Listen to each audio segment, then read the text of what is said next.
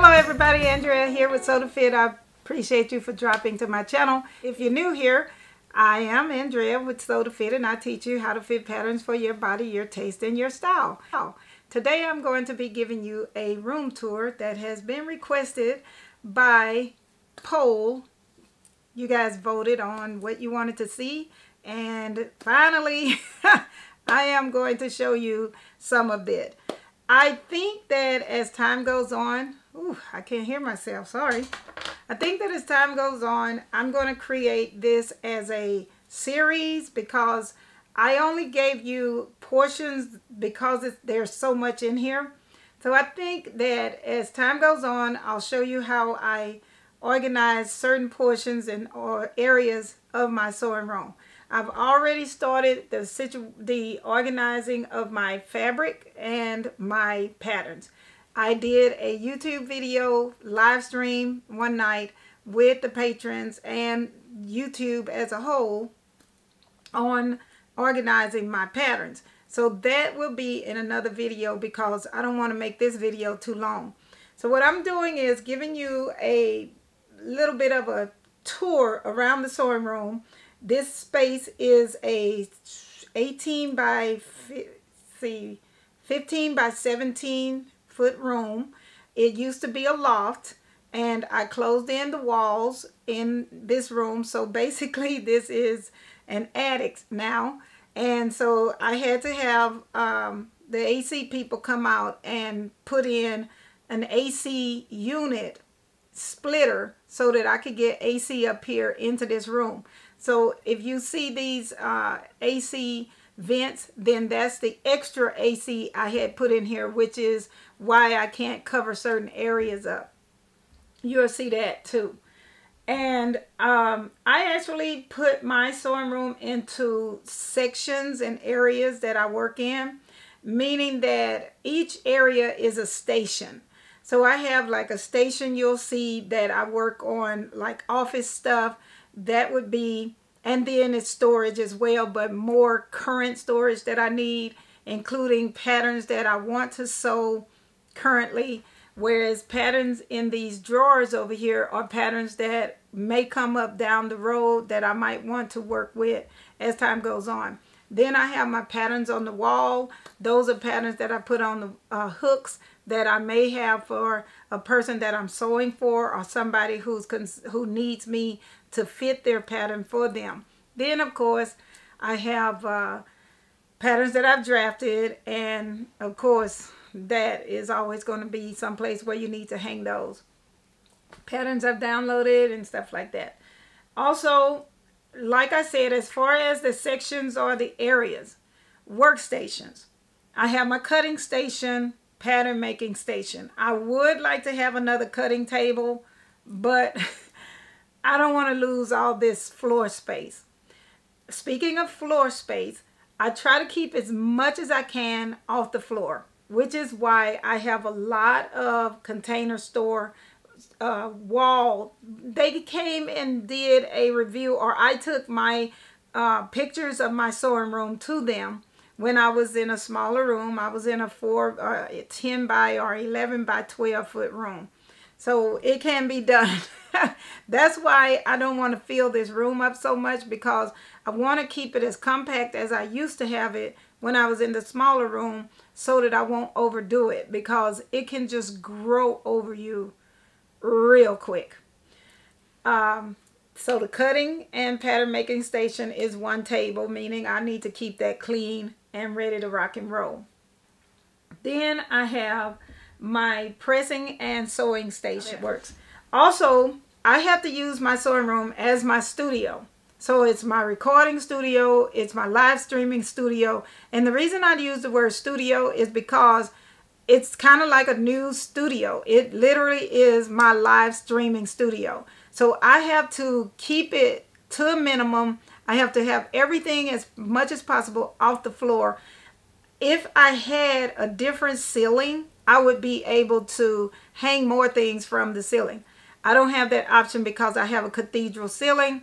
The only thing between me, this ceiling, and the roof above it is probably what however wide the joist is that hold this house together, which mean I, that's why I'm not connecting anything to these beam that's up there for the, the circulating the air, the fan, which I barely can turn on anyway because every time I'm filming, the sound is so horrible. You got to be very careful with that. Now, uh, this area that I'm in not only becomes the sewing, um, like this table, which I've taken a picture for you, but this table, not only this is here, it also becomes a student desk so I can unfold a regular eight foot or six foot folding table and use that because two people can sit at it, one across the other. But because of the pandemic, I've only been able to teach maybe somebody that's family or close friend, which that only has happened a couple of times because I was so uncomfortable. Uh, so that's not happening right now. This table can roll like I showed you. It can roll. And because it can roll, I put it to the side. I take everything off. I put pattern books on top of it, which I have several pattern books because some people need to they need to see. I may sketch or stand at the cutting table. I sketch their ideas. Since the pandemic, I have been doing a lot more FaceTime. FaceTime to for them to tell me what they want, for me to sketch what they want, and we discuss it. And usually those are people I know very well. And they still have to wear a mask. So that is very, trust me, that is very minimal. Now, the other thing is this area here that I'm in is also a, a photography area, a photo shoot area, and it's an area for uh, people to fit and change and be able to let me pin their garments together. So when I finish with this, this is like the perfect setup for me. It's a staging area. It's a filming area. It's a, a fitting area. it's an everything area. When I have major, major, major projects, I can sit side by side two regular six, six foot folding tables together, put some risers on them, and once I put those risers on them, then I can put my cutting board, the little mat cutting board on top and I'm ready to go. I can literally have two big tables and, and be working. So one area can be a pattern table and one area can be fabric cutting. Either way, it works out great for me. like that. Now, I still have a few things as you have seen through the video. You will see through the video. There's still some things I can do better. I like it a lot. So after I finish all of this, when you guys look at it, if you like what you see or you have other suggestions for things that you would be interested in seeing how I organize, let me know in the comment section so that I can see what you might be interested in and then I can do other videos to tell you how I organize other portions or things in my sewing room. Okay, so we're going to come into my sewing room. This is my door, okay? And when we come into my door, you can see as you come in, this is where you walk in. So starting on the left side here is where I store and have all of my printing and all of the packing material. And then that's lining. I don't know how I ended up doing this. I tried to have everything in my sewing room to where it could be rolling. These are my shades that I hang up at the top here for my backdrops whenever I want to do that. This is my closet for additional storage. And then, of course, this is one of my girls here. And I have a professional dress form. This is a fabulous fit dress form. And so that area has to be open. A lot of these areas have to be open because of my AC unit. Now that's my Wi-Fi and that's my uh, 8 terabyte hard drive to save all of my good information called the cloud. Now, the next part of this is this is my moving table. This is like my moving live streaming table. So everything has to roll. Here's where I store my patterns. And currently, I am resorting my patterns and getting those better organized. So you'll be hearing more about that as I move through. Some of you guys already helped me on my Saturday Night Live. So now we go here and I have 20 years of Burda magazines and I don't want to get rid of them. All this up here, these are missing pieces or patterns that have some things missing. And look, these are extra chairs. If you look at this table here, you can see where I could have two people take lessons. So let's move that. Those are chairs over there. I'm not going to waste time cleaning these tables because then I'd be putting things where they don't belong. So in that case, I'll go ahead and tell you what's on the table. This is all the stuff I need to put my laptop. So I would put my laptop up on here. This is to clean my glasses because I need my glasses to see. My tape, extra plugs and stuff like this. This is my studio bag. This is everything I need to throw in my backpack that has to do with filming, editing, and so on. This is my main camera that I use. So it's a Nikon 5300 and I've been using this for quite some time. I'm lucky that I haven't dropped it or anything because the other uh, camera that I used to have, I've dropped it. so now I don't like that. But this is pretty much how my table looks. All right. And this is when I get ready to film. I sit here on this stool. I put these lights up. And because I still have people working to put lights up on the ceiling. Now, over here, if you see right there, there's more patterns that have been utilized to help people fit or to do alterations for to teach. Okay. That's a big deal for me. Then, of course, I have just thread sitting around. You know, everybody, I like kind of having thread that looks pretty like that. I'm still organizing my patterns, but basically these are, and I'll put the link or the information up here so you'll, you'll know what these drawer systems are. But I'll open it up so you can see. All right. So currently I have separated them out into the company. Now I'm going to separate them into put them in order by number, and scan them into my system to have them there. Let's go over this part right here real quick.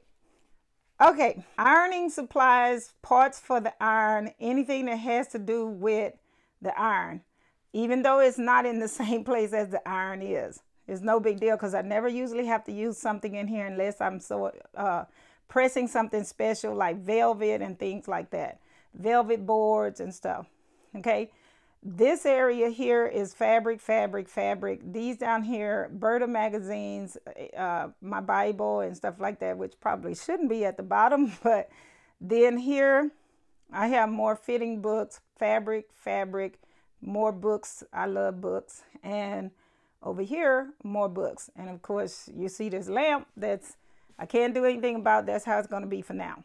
Now over here, I have this rolling cart which like I said, I am a rolling person. Everything has to roll. And this is the container store. These are IKEA. These are Target. Contain, I mean IKEA, IKEA, container store, IKEA. And this here is all fabric. Okay. This is my nice fabric. Wools and everything are in the cedar basket. Boucle, and things like that. Now I have my leather stored in an entirely different place. So you're not going to see my leather in this room. All right. I try to keep everything clean up here because I've decided not to use the backdrop up here anymore because it's too much extra work. And when I put it up there, it actually blocks my airflow. And the AC man said, do not let that happen. So I have to be careful. I have a lot of trinkets that I've gotten as gifts from my kids. I've gotten from, oh, and I love this one here. I got this one from my daughter, or my granddaughter. Angels from above, watch over those we love. Now, this is kind of interesting because I got this one from a friend of mine when I first met her. And this was one of my first angels that got put in my sewing room. Then I have my Bernina because I when I bought my Bernina sewing machine, I bought it when they had the 75th anniversary and it is a music box. Oh, I love that. Okay. Now, when I went to Chicago and went to the Couture uh, fashion show, I won this one, and that was really nice. It was part of the Chicago Haute Couture Club or something. I made this sign at my granddaughter's sewing, I mean, at my granddaughter's birthday party here in Houston. You, they cut the outside. I sent them my my logo design. They created all of the stuff I wanted as far as a stencil. And then when I went in, I just kind of drew stuff on, but they created this stencil for me so that I can paint this board. And I showed them my business card so they helped me organize and get the right color of uh, whatever I needed to get the color for my room. Another gift from my daughter. And I love irises. And then another sewing machine, which is another gift from one of my kids. It hold it's supposed to hold like rings and stuff, so you can have it someplace else, but that okay. I probably sometimes put this in because it kind of bothers me when I'm doing pattern designing. This I won. This is like the Oscars of fashion design school. So this I won because I had the best uh, design in the fashion show during 2009 at HCC, Houston Community College, where I went. Now, my daughter bought this, but because I still love it, but it's backwards. So you can see, you can't really sew that way unless you have a left-handed sewing machine. I think left-handed people would really love that. And I couldn't take it off and turn it around, so it's good. Of course, we always need tissue. I'll show you how I organize my fabric later, but let's keep going. This is the current project that I'll show you more of later. We did a live stream on that one. Now let's uh, talk about the two areas. Got my pressing station and sewing station is together. I know a lot of people like using all of these things to roll and put their pressing on, but I just like a regular ironing board. So here we are. This is like at first when I first built my desk. Now, I meant to tell you guys, I built this whole desk system and my whole table over here, okay? So we'll get back over there in a moment. This is my Bernina sewing machine. This is my serger. It's a Bernina serger, and I'll tell you more about those later when I do a sewing machine reveal or whatever. And under here is my other cover stitch sewing machine. Everyone loves my chair. I love my chair. That's the bum diggity right there. So I love my chair. This stool under here is for people to stand on if they're short when they come to do fittings. If I do any sewing for folks, which is not often anymore. Now I have a little arm up there that holds a camera that I can do an overhead shot for my sewing if I choose to. Sometimes I don't feel like doing that but it's there and it's mounted when I need it. I'll come over here and you can kind of see there's another camera mounted over my Juki. So when I sew and film over here, I have that camera. Now, if you see these big, long uh, cables, but those are continuous feed cords right there that help the computer to receive the data so that it won't be broken down and the data will always be high definition, and that's what we need when we're filming. Now, of course, you know, I'll tell you more about my organization later, but this is my love right here. I mean, you probably have seen this. I just love that. It's it's like the perfect thing for me because you have that that background here. And so when I want to have this background, then I have it and you can see me talking to you guys, talking head right here. Or I might be over here and you see me talking head over here. It's nice clean. Or I might sit right here with this behind me. So I could do a lot of stuff with this. And I like it like that because the way I used to have it set up was way too constricting. However, let's continue to go. I don't want to I don't want to keep messing and changing. So I have my stretch knits over here. These are all stretch fabrics. Any kind of knit and everything. This is my pressing station. All the stuff I need to press. Um, up here is storage. These right here is, that right there is zippers. And you could pretty much, if you came into my sewing room, you would be very, you would find it very easy to find what you're looking for in my sewing room. I bought the pink uh, labeler, but for some reason, it's not pink enough for me. I like pink. so I need to put more pink. I literally like to see pink, pink, pink, pink, pink, pink. This here is not pink enough. So just so you know, that is the kind of pink I like, those sizes. So you can see right here, I have like rubber bands, which usually end up on my wrist, thumbtacks, my Juki feet over here. Some things are out of place, machine oils, some things out of place, of course, because my sewing machine used to be right under here. I might move it back. Okay, let's keep going. These are woolly nylon threads and more thread racks. Here's a little area you can see down between here. I actually cleaned it up so you guys can see this stuff. And let me go ahead and fold up this ironing board now. All right, now I've folded up the ironing board so you can really see more of what I have going on. This is my extra sewing machine that I take with me sometimes or to classes. And then I have more fabric and more. These are my projects I'm working on here. Okay, so now let's go back over here, moving along. I put my patterns up there that I'm working on or preparing, I'm working for somebody or my own patterns. They just on my pattern hooks and stuff like that. Now, this black thing right here is my portfolio. Now, this usually goes under here. It goes like right in there. See? There. But I think I have something on the other side, so I'm not going to move that. So let's let me just move that out of the way. And let me show you over here. So I moved that over. This is another overhead rank thing, so I move that out the way. All right, now on this side is my portfolio. Then here is my contact paper that I put my slopers on.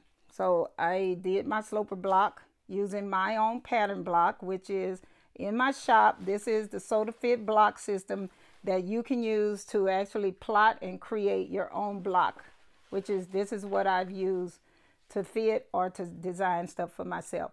All right, we come over here and I consider this like a little bit of kind of like a workstation I mean, that makes sense, right? you see it behind me every time I do a video, so I'm not going to go too far into that. I don't, I didn't label these because I don't want anybody knowing what's in each one of these boxes. So you guys know that they're organizing. Machine manuals, my samples for classes that I teach, sewing class lesson plans, and this up here is for my patrons. Those are like handouts and stuff I give for downloads whenever I do it. Storage that I don't use barely. This is just pretty. I don't have anything in there yet. These are pretty right here. These, I don't have anything in there yet. No, I do. I think I do. I'm not real sure. I'll show you what's in there later. Okay, so here are client files. So that's why I hide those because I don't want you to see the names. But this is interesting. These are all of the projects that I do for you guys on any of my videos. So that way I'll know if I filmed it or did anything for it, it's in one of these files here. That way, if I even made it for myself or my daughter, then I put it up here. Okay, that, that makes it easier for me. This is the Ludlow system. I like that system. Maybe one day I'll show you. Now, I do have a lot of these everywhere. I love those. Everybody who goes out of town always bring me one. Bring some back. And I have a lot of them everywhere around the room and in my other parts of my house. This was the first Timex watch piece. I like this. I really do. It used to tick. I don't know how to change the battery out. But oh well, it's beautiful though. Take a picture to last longer. All right. Yeah. Okay, let's move over here. Books, tailoring materials up here, specialty fabric for sewing and creating bustiers and wedding outfits, gowns and stuff. More cute gift items I've gotten from somebody. Storage box up there. I like those cute storage boxes. So if you want to send me a gift, you can send me a gift. Now, tailoring supplies, I've been having to use a lot of those lately and linings. I already told you I have linings right there. Okay. I got tired of reaching up there. So these are linings that I use for men's wear, tailoring, and stuff like that. That I don't care if it's rayon and people who don't know any better. I hope nobody heard this, but that's what I do because rayon lining costs a lot. So a lot of times I'll use acetate lining or anything that's regular regular lining. This right here is my planner community type of stuff. I love that kind of stuff. So if you want to send me some cute markers and stickers for my planner, please do. Because you'll see me doing a lot of that if you don't see me. All of my fitting books, all of my educational material, and I could do a book review if you guys want later on.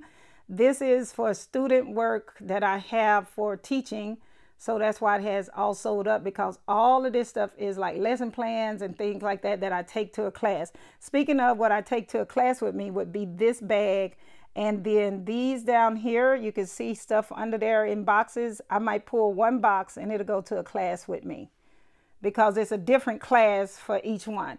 Like I have a class for teaching fit, a class for teaching the dress form, and a class for teaching pants. So I grab whichever class I'm teaching, I'll grab a box and take it with me. It's already prepared. It already has the lesson plan in it, and it already has any patterns that I'll be discussing.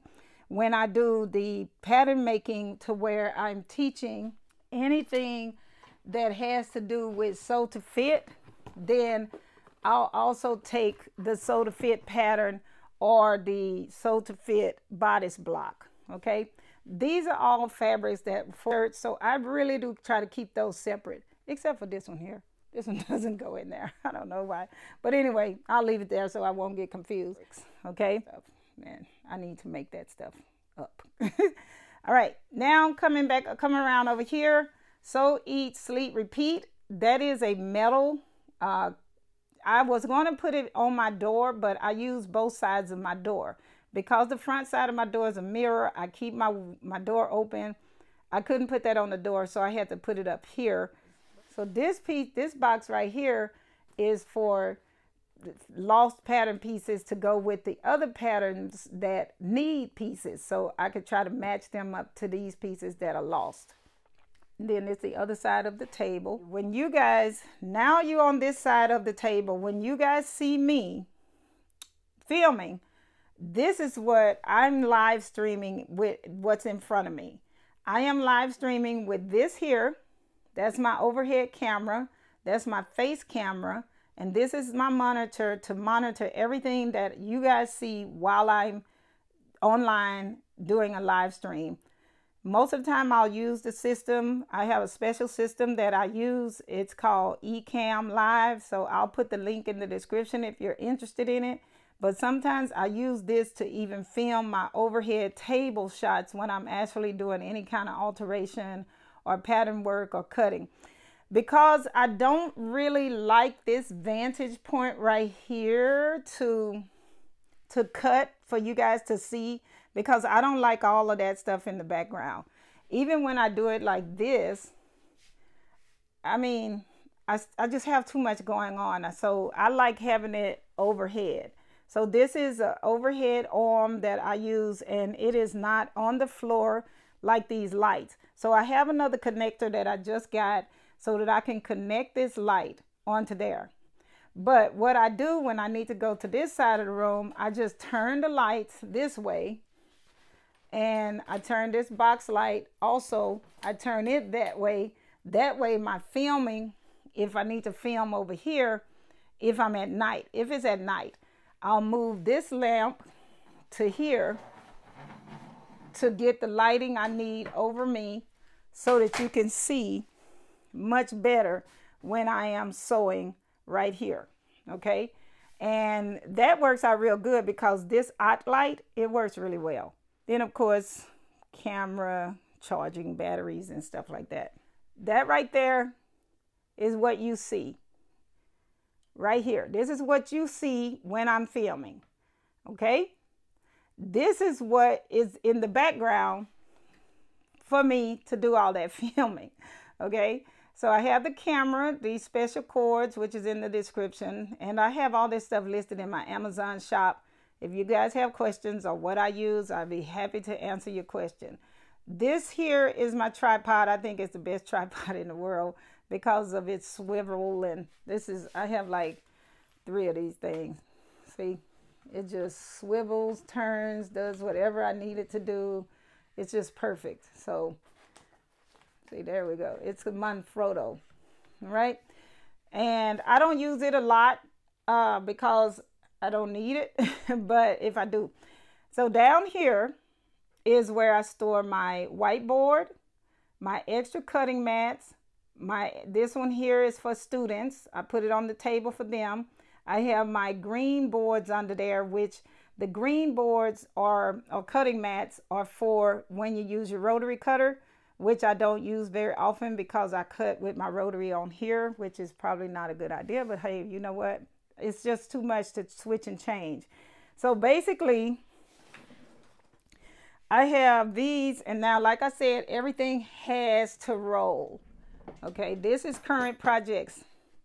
So you can see I have these hanging there and more more of this here stuff going on under here. Now this, it goes all the way through to the other side and I'll show you what's over there on the other side. But this here is the back of the filming station.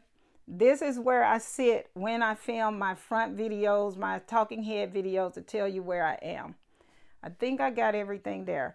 These are alterations of myself that I took out of my closet and I'm not sure if I want to redo them or not. okay, let's go back over here real quick. I'm going to show you what's under here when I'm sitting down. Okay, when I'm sitting down, I usually put my foot here and I'll move these over because I'm sitting on that stool, that black stool that you saw. These are all of my papers, my tracing papers, my I even have some vellum in here, some drawing paper, some pattern paper, and I have a few rolled up uh, to fit patterns up in there so that I can do tutorials if I need to. This is my another rolling cart. I told you guys I am all about what can be moved. So that's why this this uh, cutting table that I built, it rolls, but I'm having to change some things up because I moved some things from other places in my house. And anyway, moving on. okay, so this here is not as well organized as it usually is, but this is where I reach when I'm doing any kind of pattern making and stuff like that.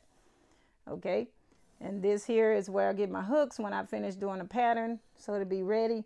And I don't know what's in there. I think that's a bunch of muslins of garments I did for people. I keep the muslin. I do not give people their muslin because that's like my insurance when they say it didn't fit.